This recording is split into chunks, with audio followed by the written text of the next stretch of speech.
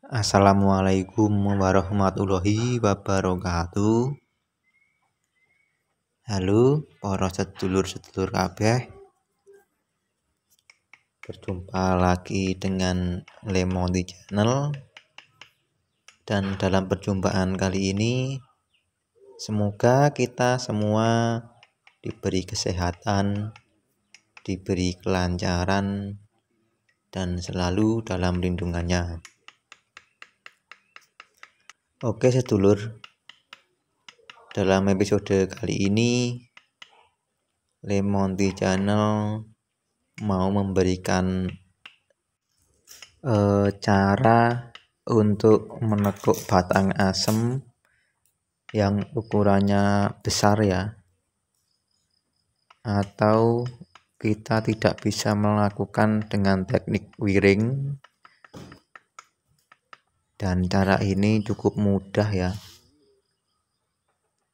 Bisa dilakukan oleh para pemula dengan teknik pahat seperti ini. Batang yang ukurannya besar bisa kita tekuk sesuai keinginan sebelum kita melanjutkan ke video yang selanjutnya jangan lupa dukung terus channel saya. Tonton terus videonya. Subscribe channel saya Lemonti Channel.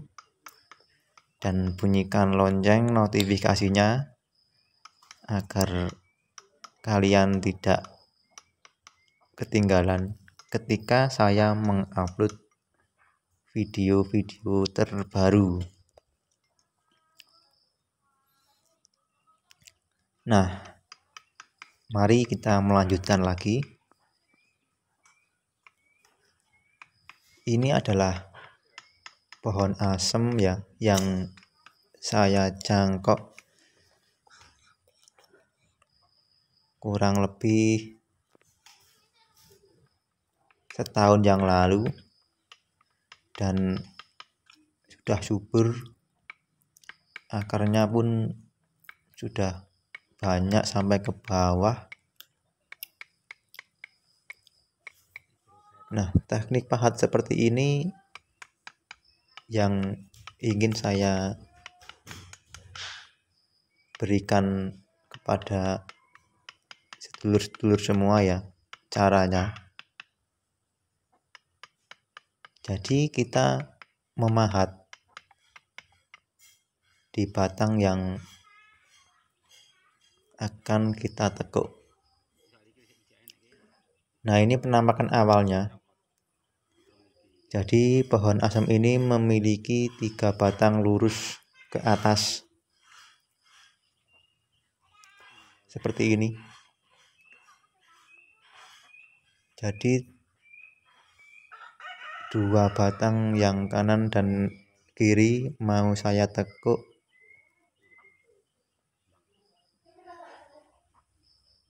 Dan ini adalah goresan ya goresan yang saya bikin kurang lebih seminggu yang lalu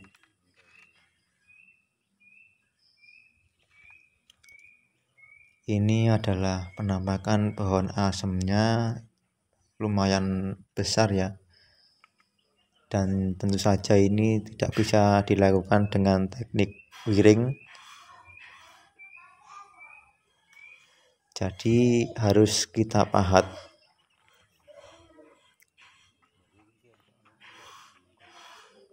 Nah batang yang sebelah kiri akan saya doyongkan ke kiri. Dengan cara memahat batangnya.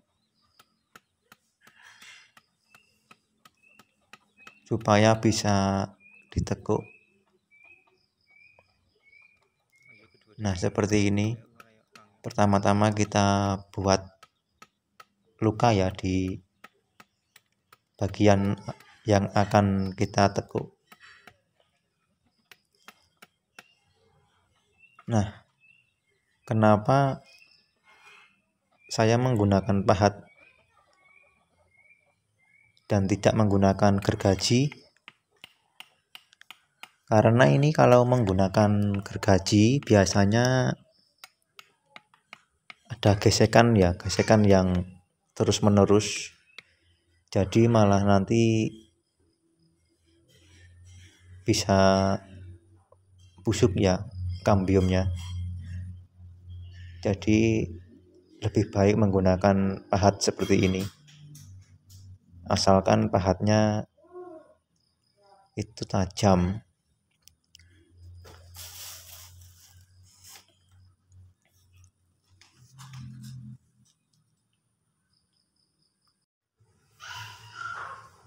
Dengan teknik pahat seperti ini biasanya kita memahat sebagian ya.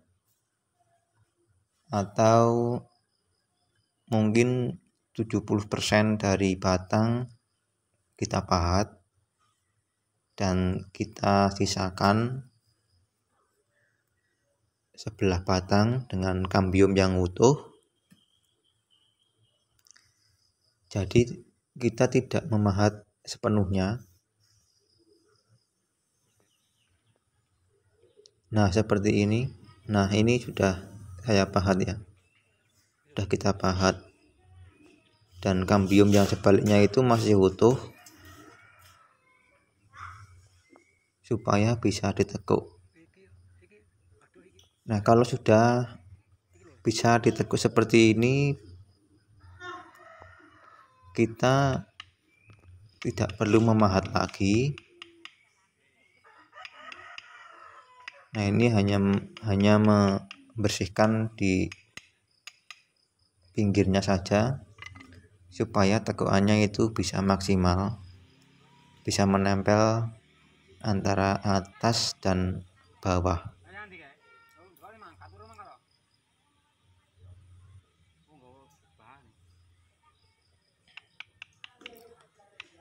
jadi untuk apa kita menyisakan kambium yang sebaliknya?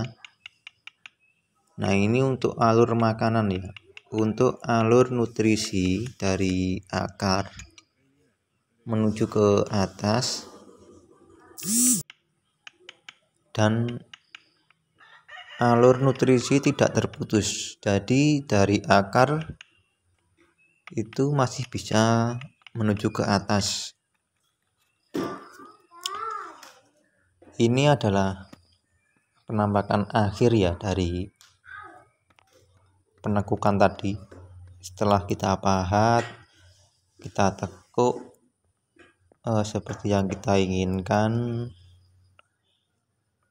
Terus tekukannya sudah rapi seperti ini.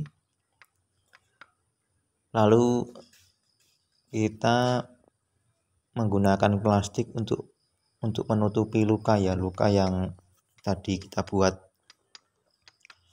Luka yang sebenarnya luka pahatan yang kita buat tadi agar kambiumnya tidak menguap lebih banyak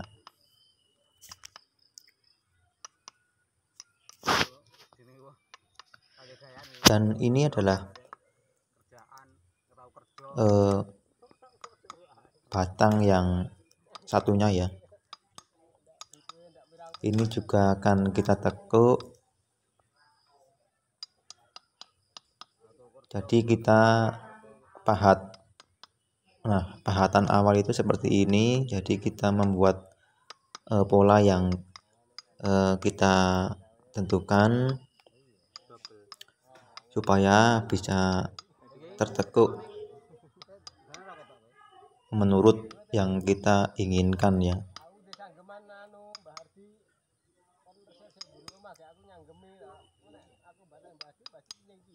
Asalkan kambiumnya itu masih masih ada jalur makanan dari bawah masih ada alurnya bawah sampai ke atas itu ya insya Allah tidak tidak akan layu ya.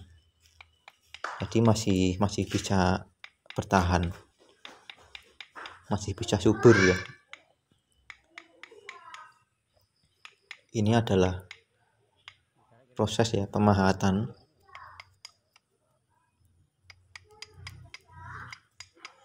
Dan untuk untuk ini untuk menutupnya luka luka pahatan ini ini asalkan tanahnya itu subur kita rajin kasih pupuk rutin itu bisa cepat. Jadi eh, menutupnya luka ini tergantung kesuburan.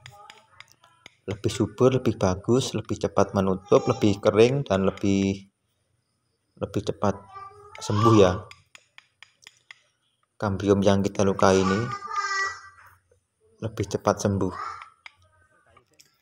Nah jadi buat para sedulur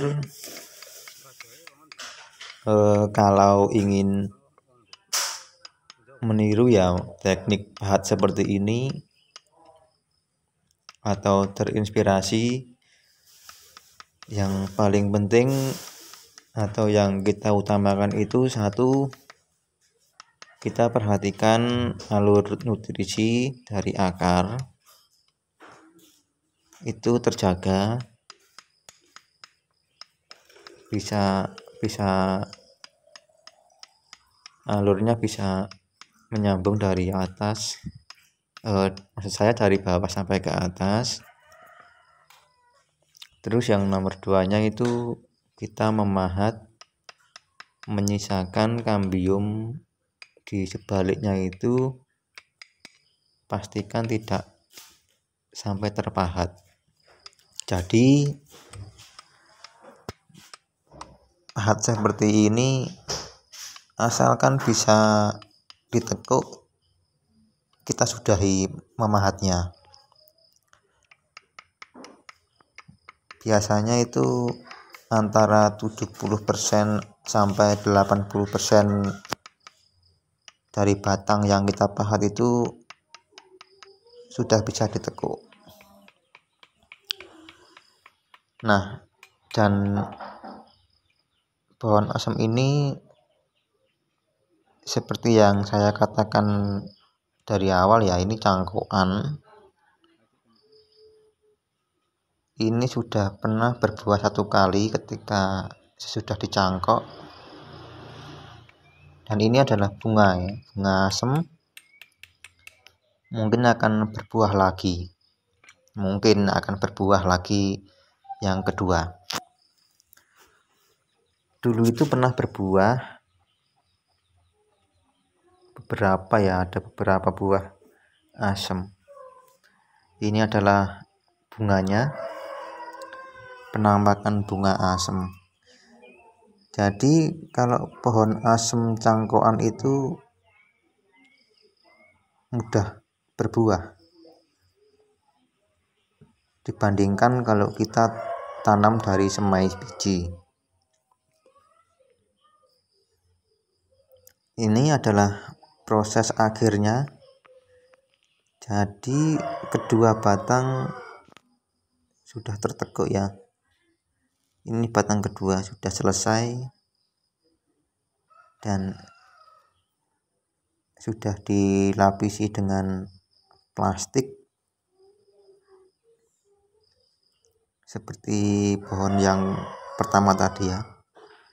Seperti batang yang pertama. Nah ini penampakan dari sebalik ya sebalik pohon seperti ini. Bisa kita lihat ya. Jadi alur nutrisi masih utuh dari bawah. Dan yang kita lapisi ini adalah kambium yang masih utuh. Tidak kita pahat. Karena pahatannya itu ada di bawah ya. Di bawah di tekuan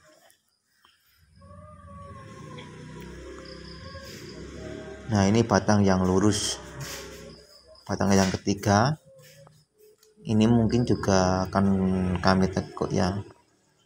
Tapi menunggu yang tekuan pertama ini sembuh. Terus kita lanjutkan di batang yang ketiga.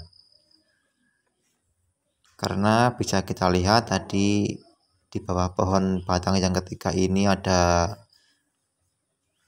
saya bikin goresan. Jadi belum sembuh total. Mungkin menunggu goresan tadi sembuh lalu kita bisa membuat pahatan di batang yang ketiga ini. Nah mungkin cukup sekian video kali ini terima kasih dan matur nuwun. Salam satu hobi